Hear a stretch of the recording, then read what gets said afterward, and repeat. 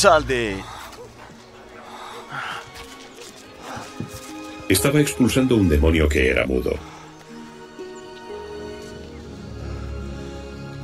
Cuando salió el demonio habló el mudo.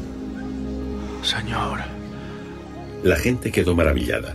Eche afuera los demonios por Belcebú, príncipe de los demonios.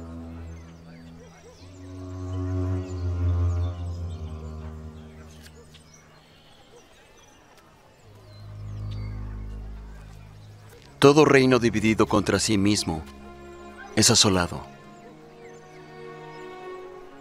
Y una casa dividida contra sí cae. Y si también Satanás está dividido contra sí mismo, ¿cómo permanecerá su reino? Porque decís que por Belcebú yo echo fuera demonios. Pues si yo los echo fuera por Belcebú,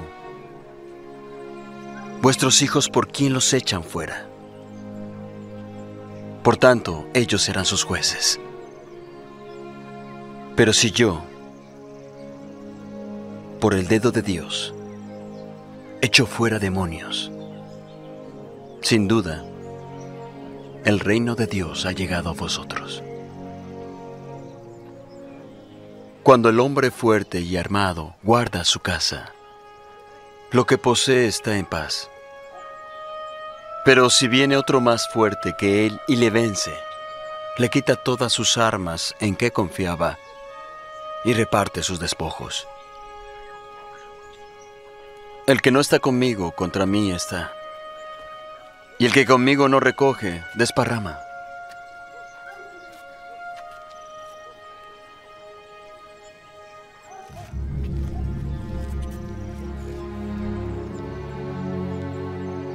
Cuando el espíritu inmundo sale del hombre, anda por lugares secos buscando reposo. Y al no hallarlo, dice, volveré yo a mi casa de donde salí. Y cuando él llega, la halla, barrida y adornada. Entonces va y toma otros siete espíritus peores que él, y entran y habitan allí.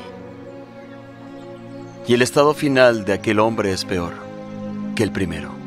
Palabra del Señor. Mis queridos hermanos, el Señor Jesús hoy nos invita a ser más decididos por Él, que se note de quién somos, a quién pertenecemos y a quién servimos. Mis queridos hermanos, también el Señor Jesús nos hace una advertencia, a que cuidemos nuestro corazón, cuidemos nuestra interioridad, para que no volvamos al ayer de nuestras vidas, la vida del error, la vida del pecado, la vida de la superficialidad, de la comodidad, de la indiferencia, sino que vivamos con entusiasmo el hoy de Dios con nosotros, en la vigilancia de quien cuide y fortalece su experiencia de Dios, su identidad y su misión al servicio de la comunidad. Cuidemos nuestra casa interior, cuidemos nuestra familia. No dejemos entrar en nuestros corazones y en nuestras familias, en nuestras comunidades, el veneno de la dureza del corazón y de la división que nos llevaría a la ruina. Mantengamos el reino de Dios en nosotros, limpiemos nuestra casa y no nos confiemos para que no nos descuide el maligno y quedemos en peor situación. Seamos vigilantes en el amor, en la oración, en el caminar juntos. Seamos astutos para fortalecer el amor de Dios en nosotros, en nuestras comunidades y en nuestras familias. Mis queridos hermanos, estar con Jesús es estar con la iglesia, es escuchar también al Papa, es caminar con la comunidad, es participar en la familia, es participar en la vida parroquial. Bendiciones.